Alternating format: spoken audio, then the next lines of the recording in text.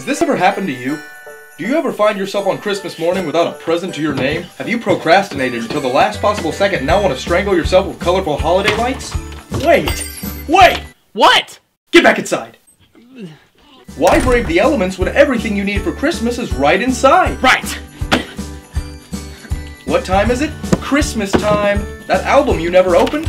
Re-gift. Everyone brushes their teeth. Pizza. Butter.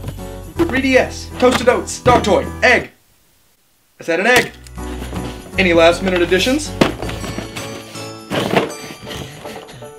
Now seal it up, wrap it up, tape it up, accent. Now take her home!